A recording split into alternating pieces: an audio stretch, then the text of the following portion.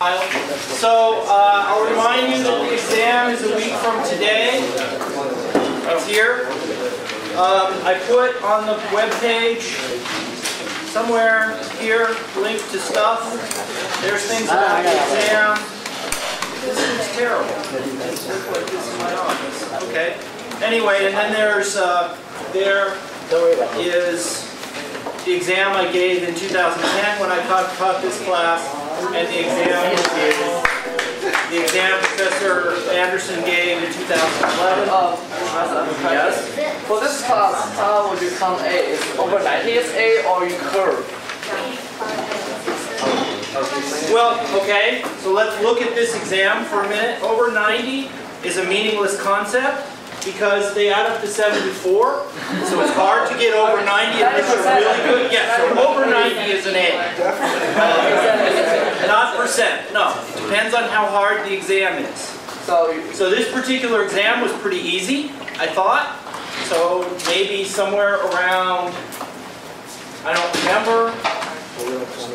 I would guess somewhere between 60 and 74 is an A or an A minus. Uh, basically, if you get you get either all all of the questions right except for one, then you probably get an A or an A minus. Or if you get most of the questions mostly right, you get an A or an A minus. But it depends on how hard the exam is. So if I write a hard exam, it could be that 50% and up is an A. So Usually I don't write an exam that is that hard. Generally, I try to write an exam, although this one I was, let's, I, it was too easy. I try to write an exam where nobody will get a perfect score. Because if I write an exam where several people get a perfect score, the exam wasn't hard enough because those people were not challenged. Usually I try and write one problem that is difficult and some problems that are easy and some problems that are in the middle. Uh, question how do you count like 10% students or A or I think this is the standard for A? I look at the exam and I decide how hard it is. Okay. And generally that works out that maybe 10 or 15% of the students get an A. But sometimes it works out that only one per student gets an A and sometimes it works out that 60% of the students get an A. Okay, I think I got- got it. Yeah. So I don't have rigid criteria that 90% and up is an A, nor that only 10% of the students get an A. If you know the material well, you get an A. If you know the material badly, you do not. Um, generally in this class, most of the people that make it to the end of the class pass, but not always. Get it C or better. Do a lot of people usually drop out? Yeah. So last time I taught this class, um, I had about this enrollment at about this time in the semester, and at the end of the move down date, date, I mean, a few people did the PNC business, but I would say like five or six people decided this was not really for them, which is fine. Okay, so there's that.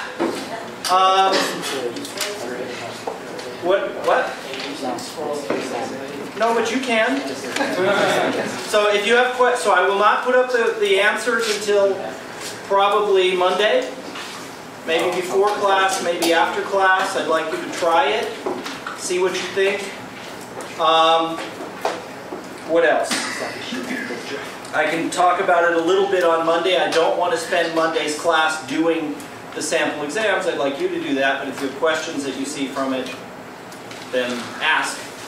Um, yeah, so what I wanted to do, where is the rest of this page? Ah, oh, that's the exam page. Uh, so I wanted to continue roughly with where we were last time. Uh, with this, I'm going to, to continue with stuff. I guess I'll start in the middle here because I'll do some graphic kind of stuff, just like last time. So last time we talked about tangent planes and partial derivatives and stuff like that. I want to continue with that. Uh, I guess I have to.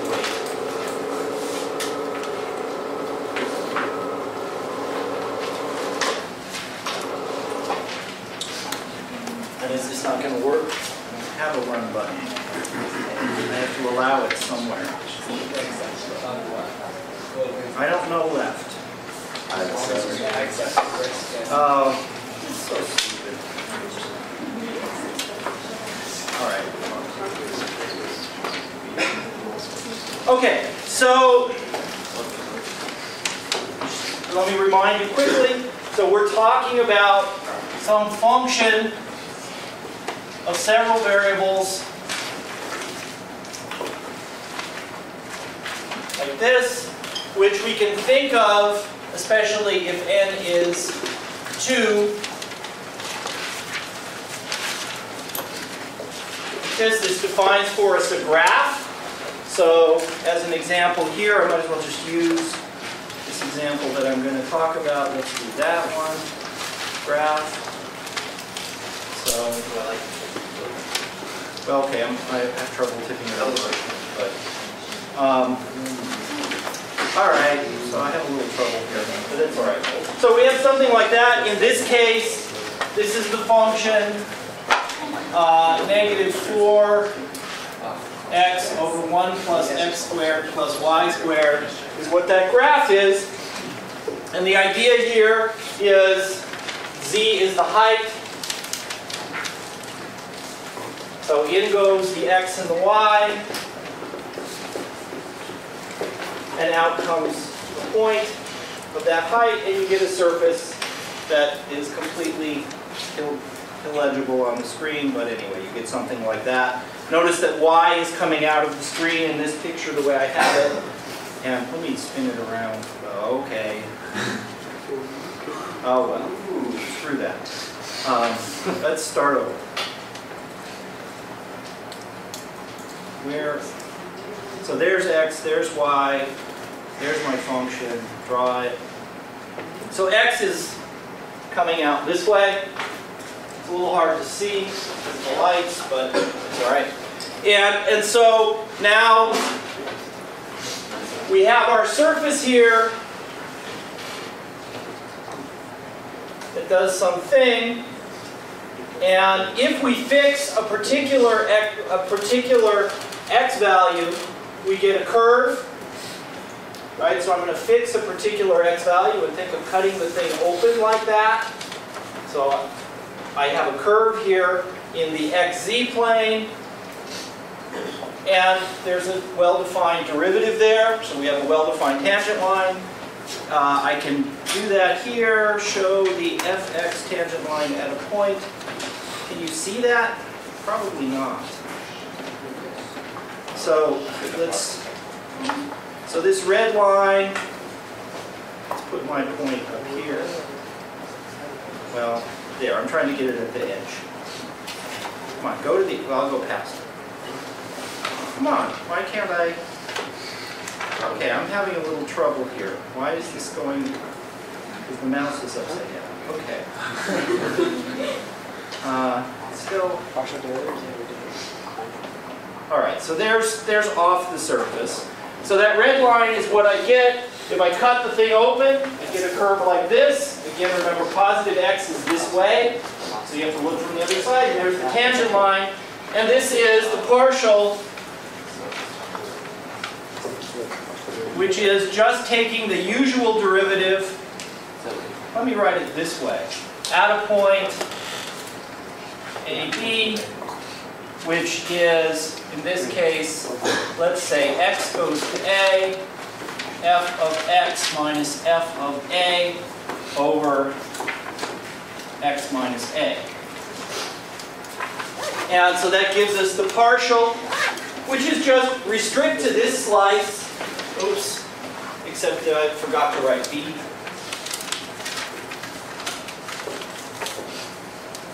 And that gives us that line, gives us this plane, this curve there. And similarly, if we slice it the other way, so let me go up to the corner here. And instead I look at the Fy tangent. So now I'm slicing it the other way, and you can see there's a tangent line there, which moves around as I move around on the surface. Right? So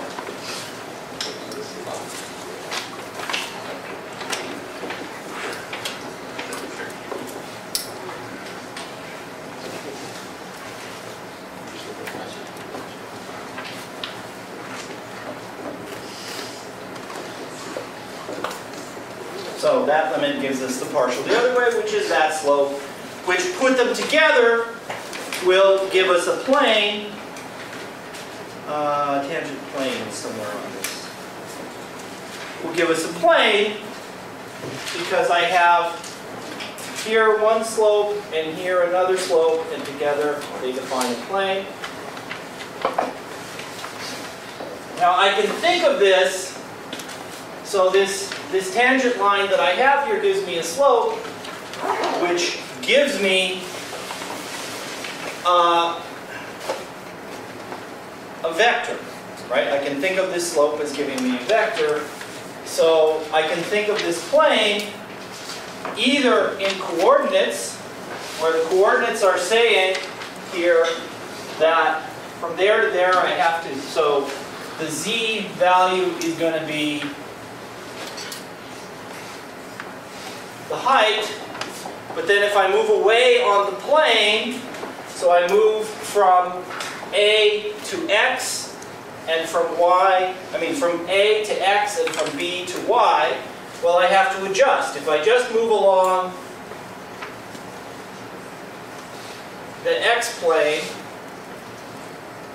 I just move in a line in the X direction, then I'm going to gain, well so that's a number, let's write it this way so it's clear. I'm going to gain however much I moved in that x direction on the z. In this case, it's negative. And if I move just in the y direction, I'm going to gain whatever distance I am away from the point B adjusted by the derivative. Right? So I said this towards the end of the class. We can also, yeah, Are you moving along a fixed tangent plane? So I'm at the point AB, which in this picture is right here. Maybe let me tilt it a little bit more. That one's kind of flat. Let's move it. Okay. Over there. Let's move it over there. So I'm at this point here. This flat. This point here is z. This height is z of AB, where AB is that point. Yeah. And then now I'm going to move on this plane a little bit. Okay, so you're not changing. You're not moving on the function. You're just moving on that. I'm moving on the plane. Alright. Right. Which is exactly the analogy in one dimension. If I know the point here, that's A, and I have the tangent line here, I go to this height, which is f of A, and then I move some distance here to a point X, then I take this slope, so the slope is f prime of a, and I move this distance, x minus a, in that direction, so I have to adjust to get this height, what I started with, plus the slope, which in this case is negative, times however far away I moved. It's the exact analogy. It's just now I'm in a plane. And I can move in the x direction, or I can move in the y direction, or I can move some combination of both. And as long as there's a nice plane here, this will work. But this function has to be nice for there to be a nice plane there. I can also write this, I can also think of this in terms of vectors, where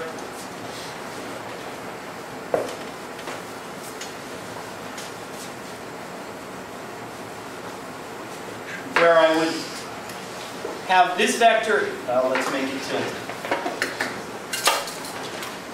So here's my point, f vector of AB, which is on the surface that I'm not drawing. And then I have a vector Well, in this case, this is y, so this is some slope times j. Uh, Fy of AB times the j vector gives me that. And in this direction is some other vector, which is the x derivative AB. That's an i. In the i direction.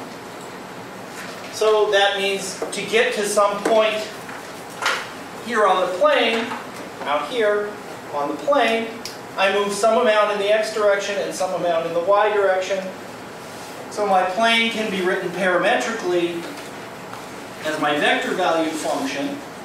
So that's my position vector of the base point plus however much I moved in the x direction, but I have to, I want to describe the whole plane, so there's some parameter t, because it's parametric, this is a vector, this whole thing is a vector. Because I need some amount, this diff distance here in the y direction. We need to back this off.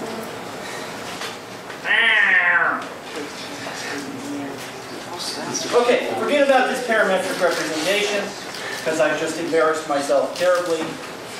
We'll come back to that. Otherwise, I'm going to spend the whole day figuring out what I wrote down wrong that was garbage.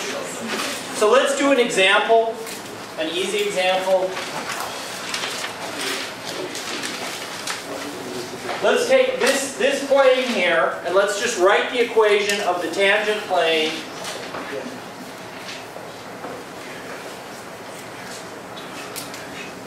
to uh, minus 4 x squared plus y squared equals z at, I don't know, 1, 1. Okay? Does everyone know how to do that? Does anyone not know how to do that? Here's a question. Yeah. Um, you mentioned last time that when you find partial, partial derivative for y, we'll just treat x squared as entirely as a constant, right? And you don't. Yes. Yeah? So, yes. So, can everyone do this? Does anyone need me to do this? Yes, you need me to do it. Okay. So, we need to compute the partial derivatives, evaluate them at 1, 1, and then look at the plane. So, partial of f, let's write it in the other notation. Partial of f with respect to x at 1, 1, well, let's write it this way. Um, is going to be, so I look at this function, I think of y as a constant, and I don't like the quotient rule, so I'm actually going to think of this as minus 4x, 1 plus x squared plus y squared to the minus 1 power.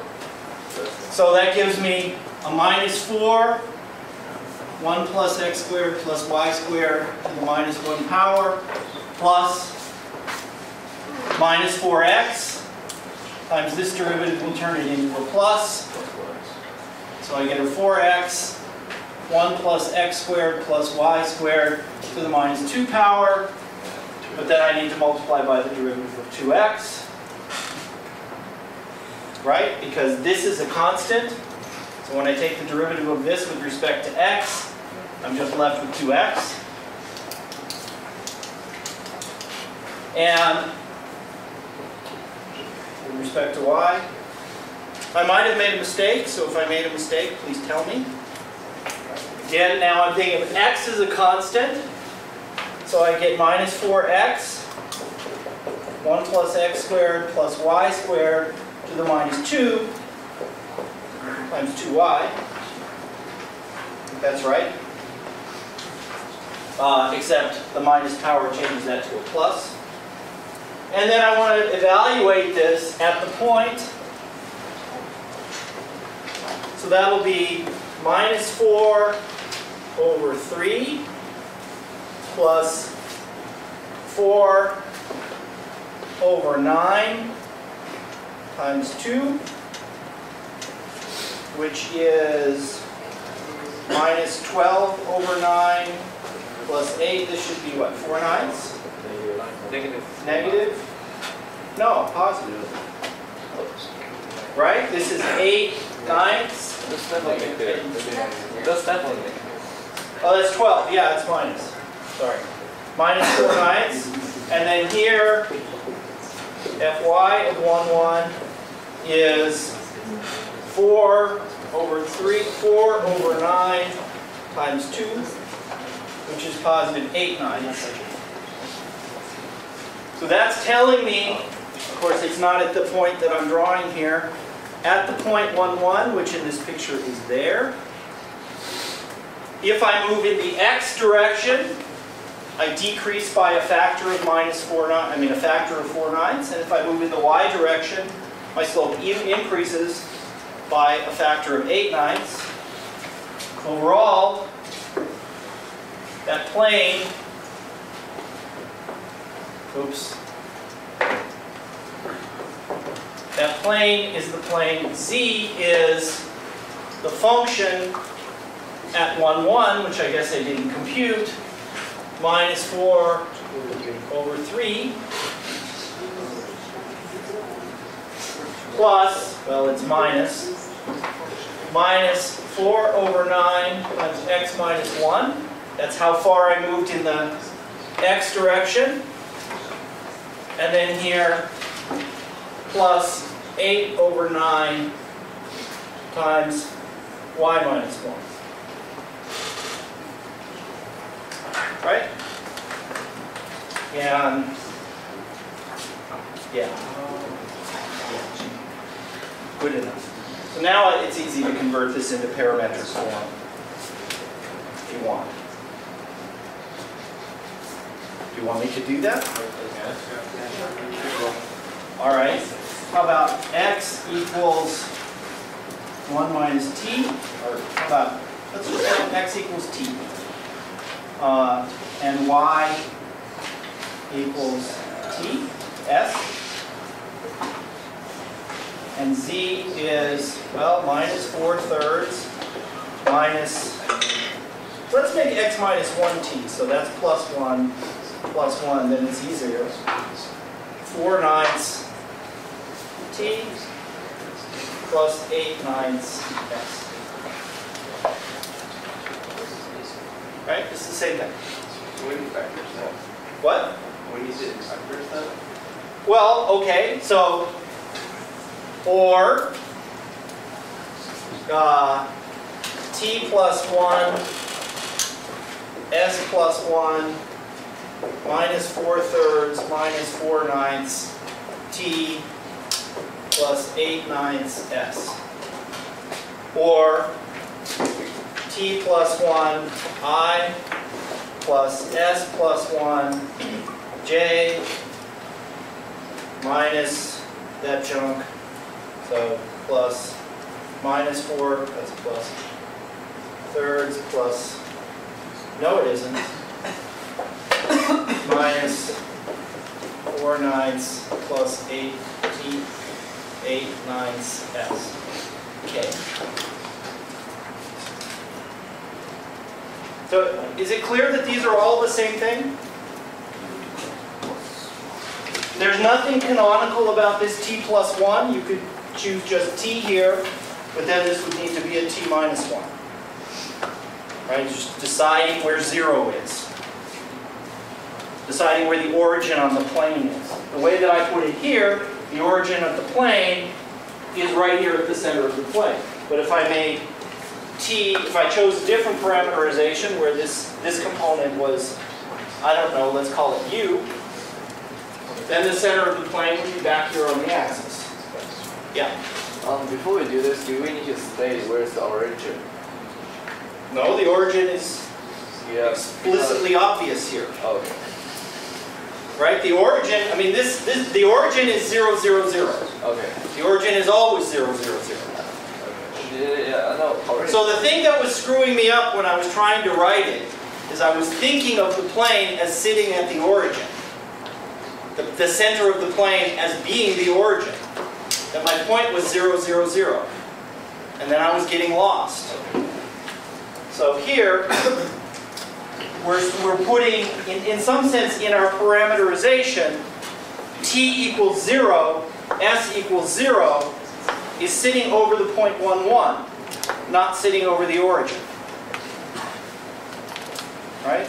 Yeah. Which is sort of a more natural place for the center of the tangent plane to be is sitting right on the graph. So we have to adjust so that the coordinates are the usual coordinates. Okay. Any questions about that? You should all certainly be able to do that problem within a week or one like it.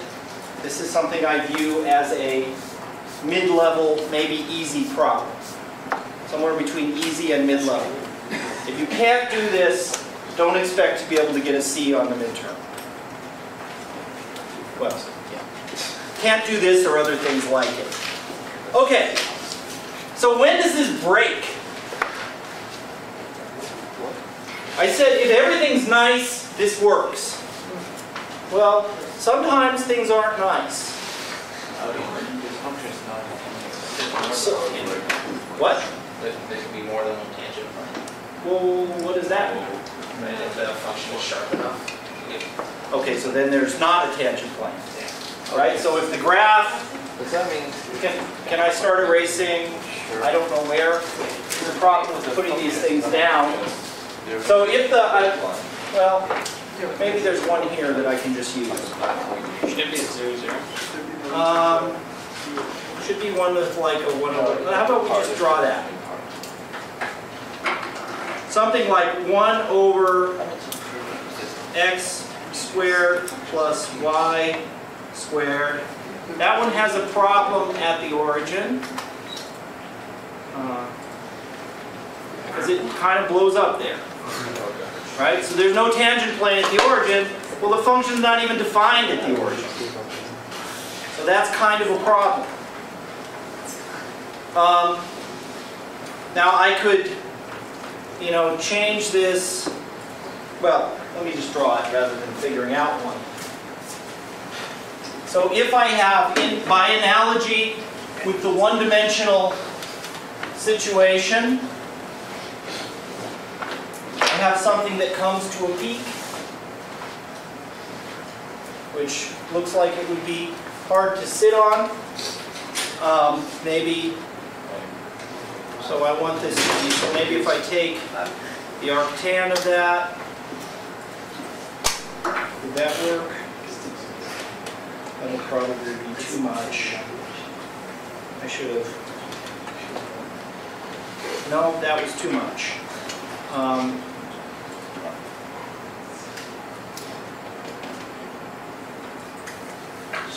No, that flattened I want. Sorry. Oh well, forget that. So if I have something that comes to a point, which I didn't have one in mind at the moment, that'll be a problem. Is that the only thing that can go wrong? Okay. What else can go wrong? Have like a, something like a jump discontinuity. Okay, I could certainly have, so this is bad. I could have,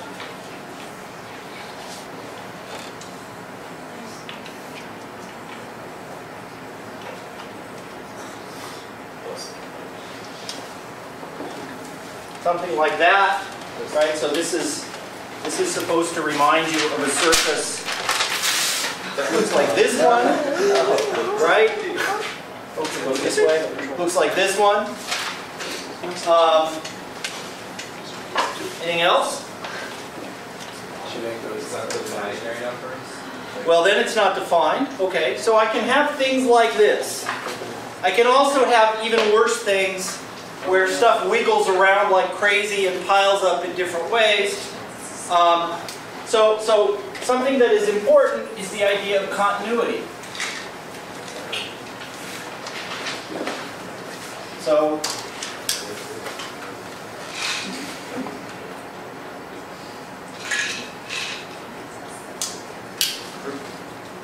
So those are important ideas here. This guy is continuous, but it's not smooth. Did I differ it? no, I got it all there, I think, I don't know. Um, But there's something that can happen in two variables that doesn't happen in one variable. That is, we can maybe calculate any derivative we want, but they don't hook together nicely. Um, I'll give you an example of that in a second. But let's just think about what continuity means. So in one variable, continuity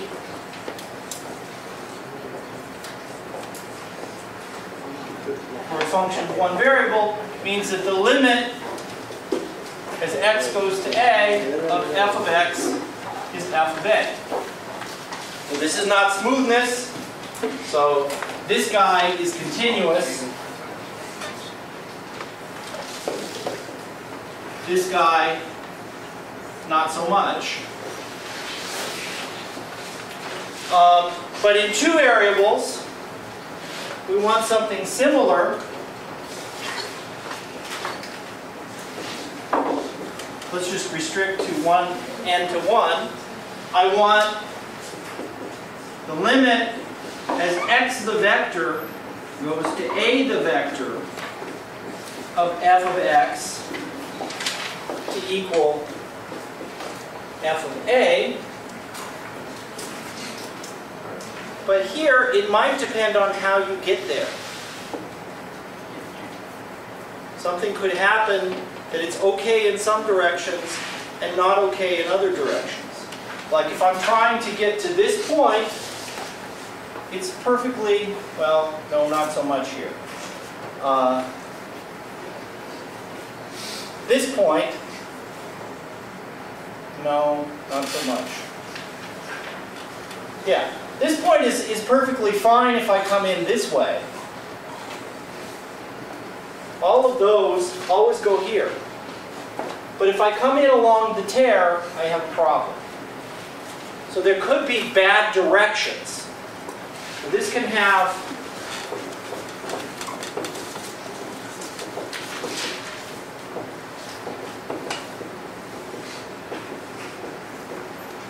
directions which are bad to come in on.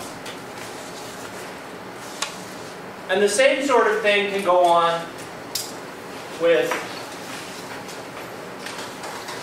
I mean, the same thing, sort of thing can go in on, um.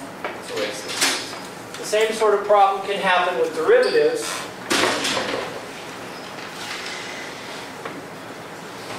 So this is bad.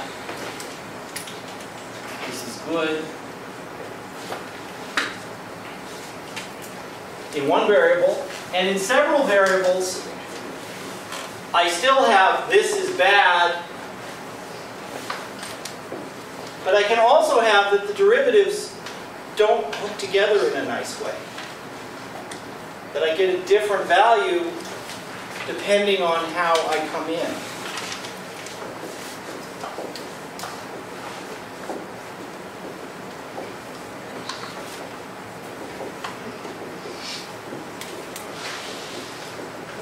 So let me, I'll, I'll make a picture of such a thing here.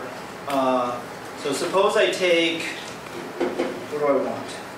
x squared minus, parentheses, x squared minus y squared over x squared plus y squared. So I don't know if you can see this. It's weird at zero. So it's basically, I mean, so there's sort of a crease along, there's a straight line. I mean, if you look there, if I look at it just in the x direction, it looks fine. And if I look at it just in the y direction, it also looks fine, but they don't match up. The function in, in one direction is down here, and another direction is up here, and somehow there's a, there's a crease going on. Right? There's a crease right in here where things are weird. So I have a problem at 0, 0. Now, the partial derivatives of this thing are just fine.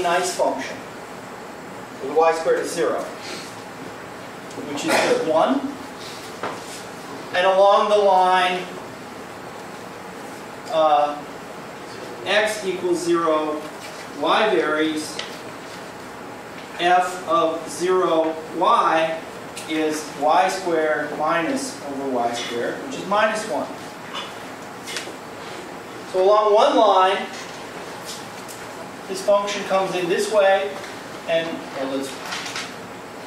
Okay, here's my axes. Right again. This is the x-axis, the y-axis. If I come in over the y-axis, the function has a negative value. If I come in over the x-axis, the function is 1. And if I come in in some combination, then the function does something in between. Right? If I come in along the line x equals y, I get 0.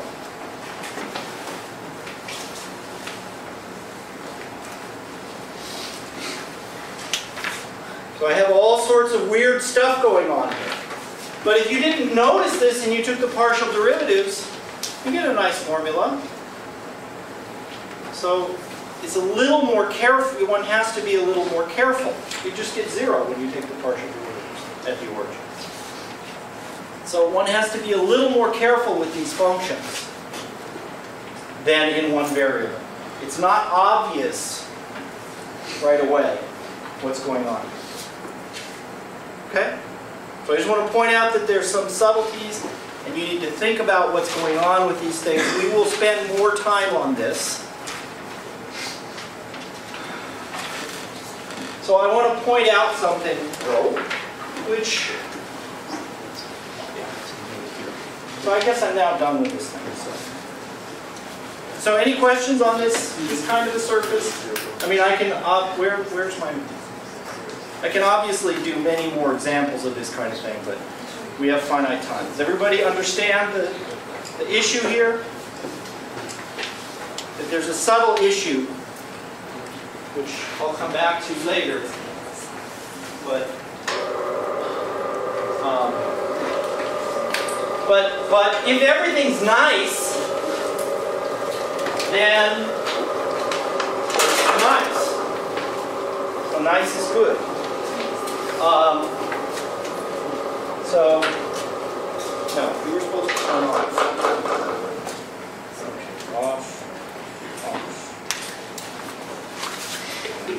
Come on. Off.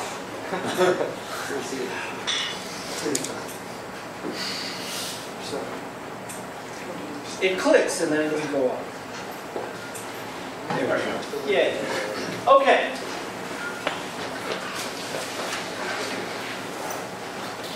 And it doesn't really matter if it's two.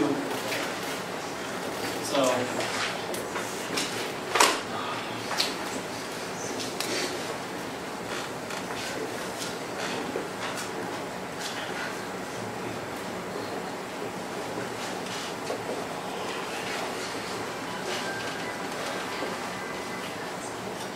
So I'm, I'm.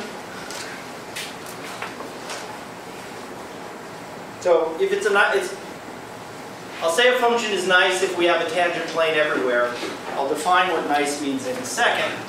So assuming it's nice, that is we have a tangent plane, there's an important theorem called Clairaut's theorem.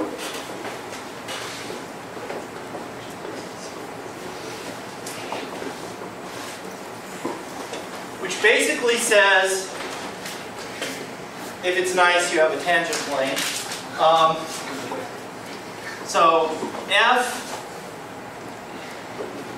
let's say from Rn to R, is continuous at some point, let's call it A vector. And also, should I just say it in the state? Let me just say it in the case of two. And also, now, Sorry. No, I'll do it in two. Sorry. It works in higher dimensions, but. So, and also, fx. So it's two, so I can call it AB. A, not fx and fy are continuous and differentiable. Well, yeah.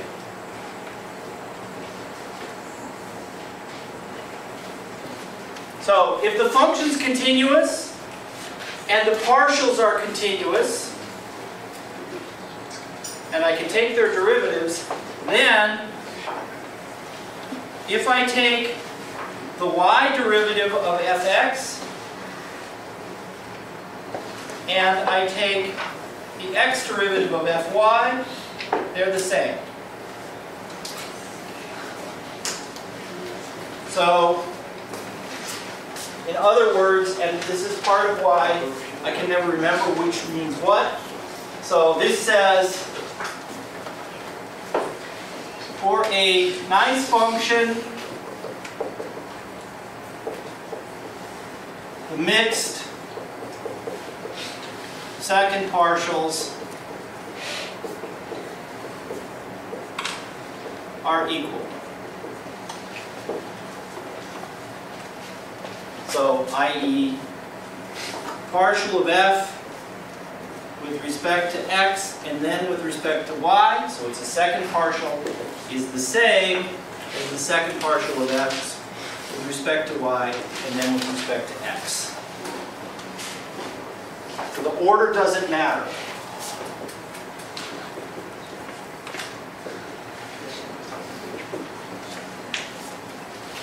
If I want the second derivative, there's really three. There's the fxx, fyy, and the other one, fxy, which is the same as fyx. Um, let me do a simple example. I don't, I could do the proof, but then we wouldn't get anywhere. Let me just tell you the idea of the proof without really doing it. But first, let's do an example. Um, I don't know, x squared cosine xy. So there's a function. If I compute fx, this will be, so this, I'm thinking y is a constant, so that'll be 2x cosine xy plus x squared, should be minus sine xy, and I pick up a y. I think I did that right. And fy is much easier. x squared sine xy, but I pick up another x, and it's negative. I did those right. Yeah? Just do the first, uh, two percent y and the, and the Uh, So I'm taking the derivative of this. It's a product rule. The derivative of the first is x squared times the second, Oh, okay, sorry. and then the first times the derivative of the second. And then this one doesn't need a product rule because the only y is inside the cosine. That gives me an x cubed sine xy. So now, if I take, let me write it this way just to emphasize, d dy of fx, which is also, I always forget which one goes first. I think this is f xy. I think that's the right notation. So I take the derivative of this thing, but with respect to y, this term gives me a 2xy sine xy negative. This term gives me is something messier. So the derivative of this is 2xy sine xy. Now it's minus. Uh, I've lost it. 2xy sine xy minus a minus x squared y cosine xy, but I pick up another y. I think that's right. And if I take the x derivative of fy, I should get the same thing. So if I take the x derivative of this, somewhere I've lost a sign, I think. Well, let's just see. If I take the derivative of this, I get 3x squared sine xy minus x cubed cosine xy fourth plus, okay, I really screwed up somewhere. You need to do it in respect to y twice on the top. Or, I mean, with y constant on the top. I was supposed to take y derivative, wasn't I? How stupid. This is just garbage. Sorry. I'm taking the y derivative of this, so this is 2x squared cosine xy, and the y derivative of this, x squared sine xy minus x squared y cosine xy squared. No. It's still not the same. Did I do it wrong? X, It's not y squared, it's x cubed. yeah. Two x squared. That last, that last term, Here? First term of that, for the next left hand. The left hand. I don't know left. Yeah, that one. It's negative two x squared sine x. No? you're taking it in terms of y. You gotta take the y derivative. Jeez. Yeah. Just take the x derivative. Anyway, it works. I don't know why I can't do this. Let's try again. The y derivative of this sucker is 2x squared cosine xy. Sine. Sine. Sine X. Sine. Negative sine. Sine. And it's negative. Thank you. And then this term I probably had right. Minus x The y derivative of this is minus x squared sine xy plus negative. Plus negative. Derivative is still negative. X squared y cosine xy, pick up another y. Pick up x. I don't think Yeah. that Pick up an x. Wouldn't that be x negative x cubed? No, never mind. And that's what, those are equal now, right? Almost. Except- X cubed y. Okay, it's not my day. Let's try again. This guy, the first part, minus, I'm taking the derivative with respect to x, minus 3x squared sine xy is this part.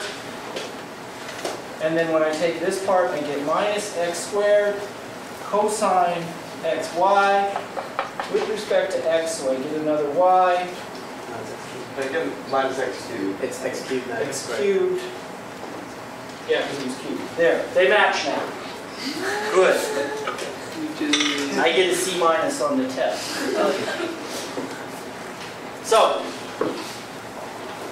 uh, Okay, so why does Clairaut's theorem work? So you can read the proof in the book, but it basically just comes down to the mean value theorem twice. So you look at, so the mean value theorem says that, the mean value theorem, if you remember, says that if I have some function and I look at its, the slope at the tangent point, and I take some interval around it, I'm sorry. It again. I take a, a function of one variable and I connect two dots on it, but somewhere in between, there's a point where the tangent line is parallel. And so what you do is you cleverly use this fact that you look at an appropriate function which says that I'm going to take my function of two variables, which I can't really draw. Here's my function of two variables. And I'm going to go this way to get a tangent plane, and then I'm going to look that way to get the second derivative. And everything is going to work out. So I take the, use the mean value theorem for x this way, and then y that way. And that's the same as doing y first and then x.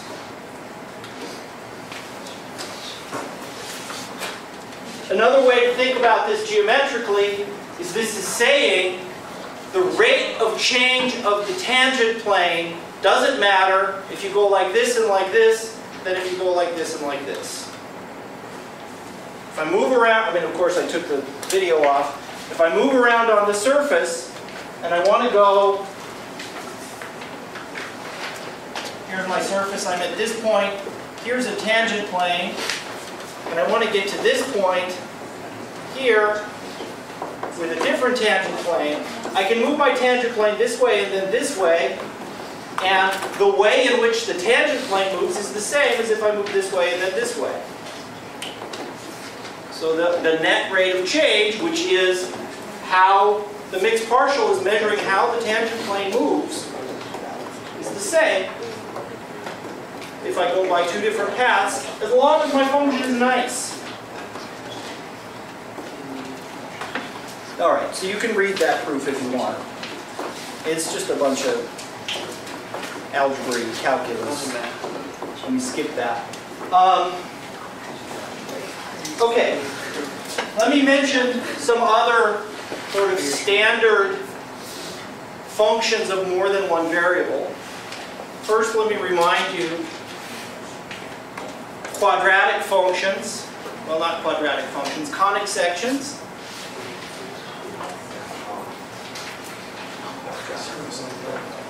So in one variable, I have ellipses, parabola, and hyperbola. So these are the quadratic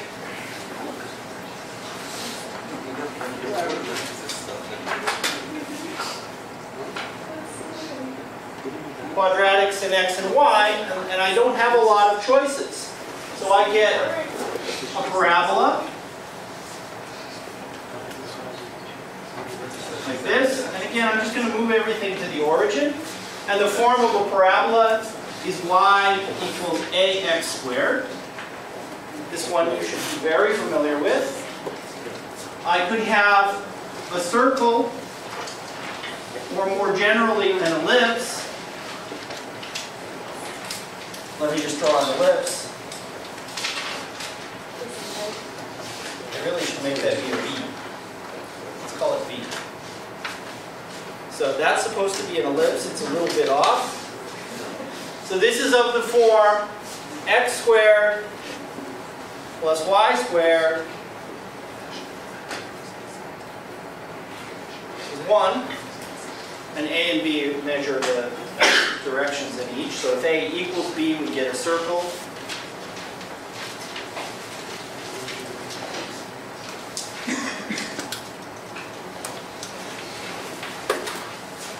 So A and B are the semi-major and semi-minor axes.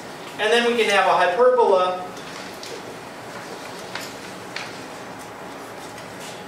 we draw it this way which looks like x squared over a squared minus y squared over b squared equals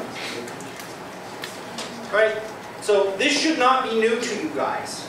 Is this new to anybody?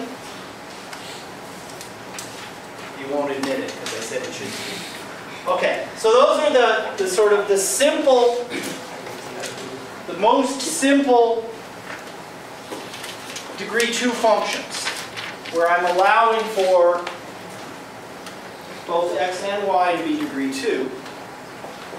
And if we move to functions where we have an x, a y, and a z, really we have the same things, but we can put them together in different ways. So instead of being called conic sections, by the way, these are called conics. Probably you know, I just lost here the eraser. This room only needs two erasers. These things are called conics because if you take a cone and you slice it, if I slice it with a plane, this way I can get an ellipse, or if the, if the cone is round, I might get a circle. If I slice it this way, I'll get a hyperbola. That's supposed to. Anyway, depending on how I slice it, if I slice it parallel to this, but over here I get a parabola. And if I slice it a little tilted, I can get a hyperbola. So slicing this cone in three different ways gives me, you can't see what I'm doing. Depending on how I tilt this slice, I get one of these three things. They're called conic sections because they're sections of a cone. Um, in R3, the analog is called a quadric surface.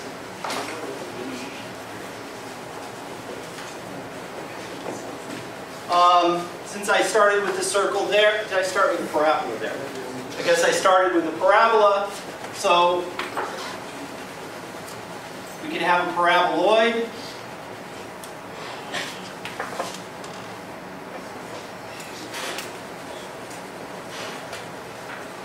which we've already looked at. It looks something like, let me,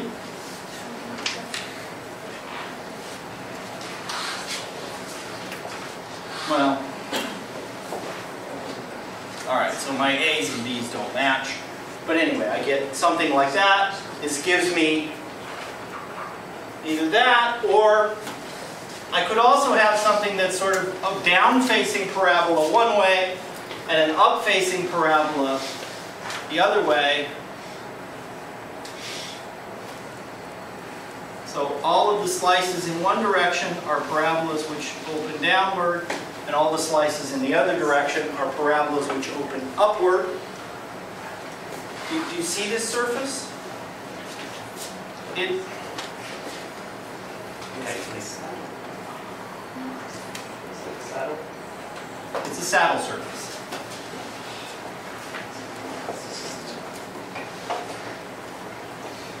So this is actually called an elliptic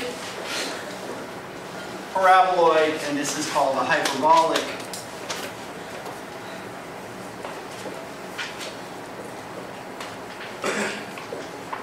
paraboloid, but most normal people call it saddle surface.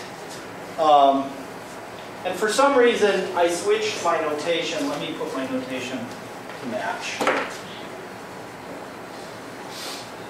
So this guy has a minus sign. So the difference here, both terms are positive. Z equals the sum of two positive squares, gives me paraboloid like this, or both the same sign down. Uh, and this guy gives me, well, since one is positive and one is negative, they open, open in opposite directions. So the slices here are parabola, which either open down or open up, depending on which way I'm slicing. But we have other variations there too. So we can have something, so this is a slice this way is an ellipse, and a slice that way is a parabola. This one, a slice this way is a parabola, and a slice that way is a parabola. Okay, what am I doing? This one is a parabola either way, and the cross section here are ellipses. It's not obvious that the cross sections here are straight lines, but they are. The level curves are x's. Um, another option is we can have an ellipsoid.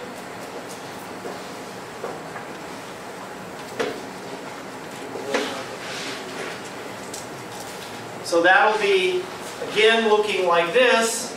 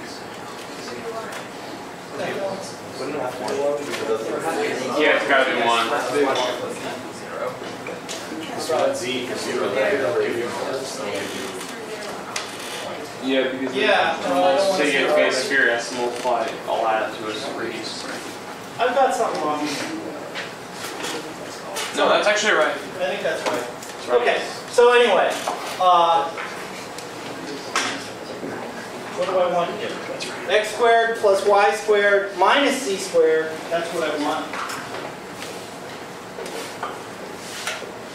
The some number K, which is positive. So if I do that, then that's saying that if I fix a Z value, I get elliptical things. Right, if I fix z to be a constant, then this is like an ellipse. And if I fix one of the y's, I get something that looks like a hyperbola.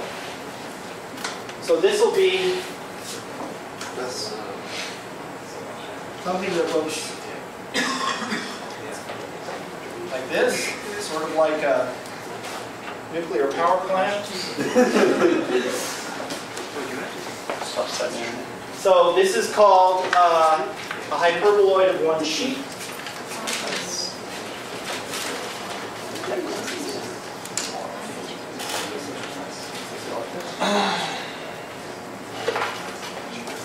If I go the other way,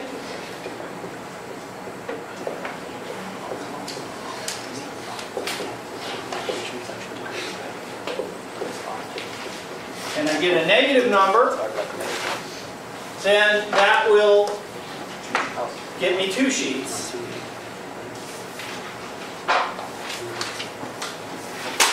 Like that.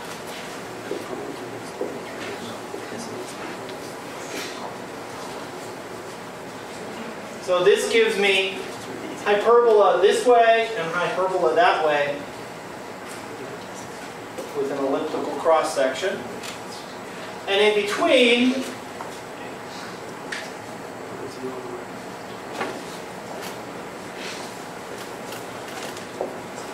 if I take that guy, I get the thing in between, which is a cone.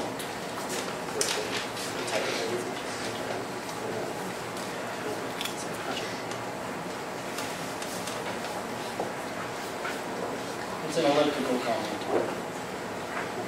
Cross sections are ellipses. If A equals B, if A equals B, everything here is a has a circular cross section. But if A is B are different, we get a, we get an elliptical cross section.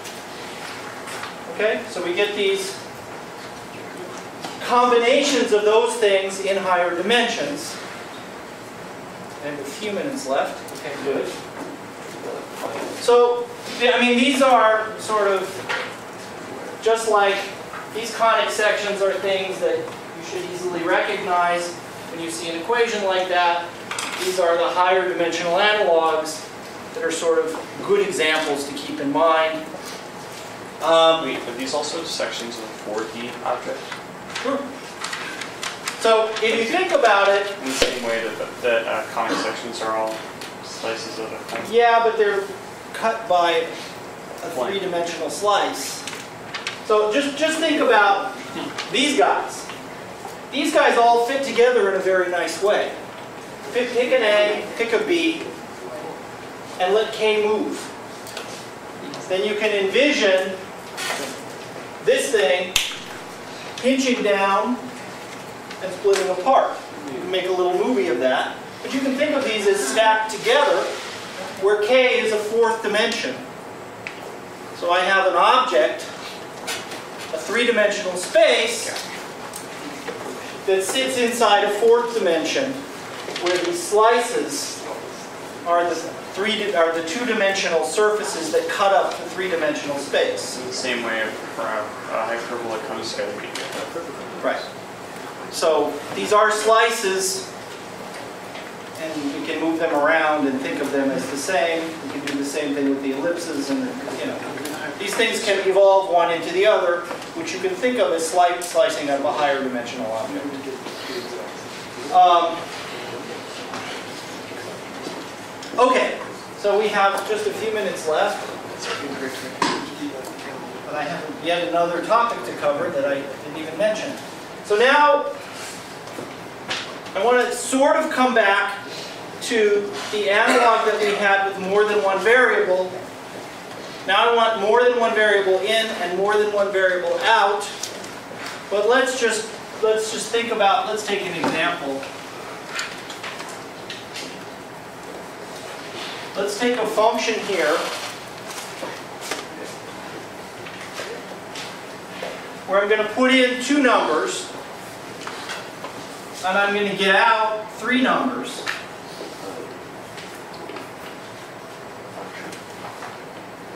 So for example, um, let's just do this one, okay? f of u v, so I'll write it this way because it's shorter to write, is, is, what do I want there, cosine? Oh, I'll write it this way. Doesn't matter. U cosine v, U sine v,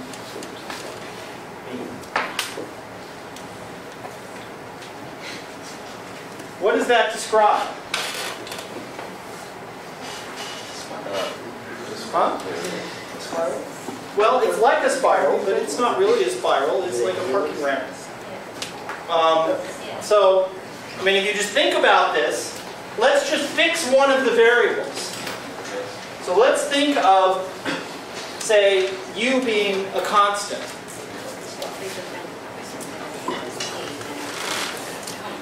Let's just make it be 1 for a minute. Then the v variable is the only thing that matters. So f of 1v is cosine v sine v v, which we've already seen, gives us a helix like this. Right? It spirals around and goes up. And it starts at, when v is 1, it starts at 1, sorry, when v is 0, it starts at 1, 0, 0. And then it goes up like this. Now if I move over a little bit, let's instead of u equals 1, u equals a, then I pick up an a here and a here. All that does is move out a little bit. So I get another spiral up here, a bigger spiral. And if I move A back and forth, I can think of this as giving me something like a ramp going up. So that is, F really takes, now let's see, which have I fixed? I fixed the X value. Something like that to something like that. So it gives me a ramp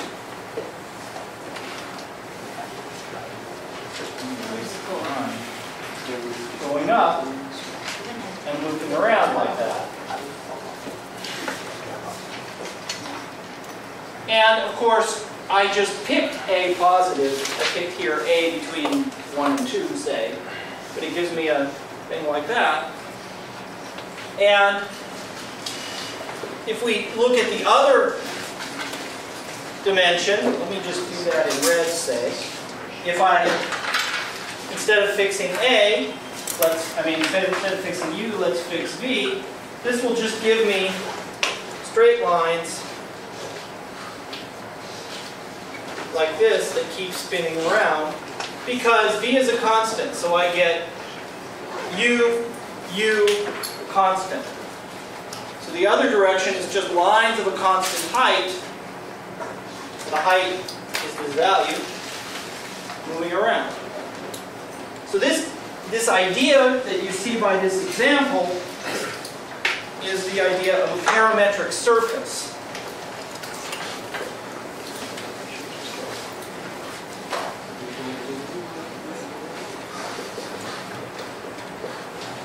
And all it is is a bunch of parametric lines, parametric curves, fit together in a nice way to sweep out a surface. Now, in the special case, where we're taking two dimensions into three dimensions, it's easy to think of these in as surfaces. But it works the same way. Let's, let's consider if we're taking, say, R2 into R2. Now I can't draw the picture because the picture lives in four dimensions. But I can think of f of some input square is maybe some, maybe I should call it g here it's not that. Is some output square.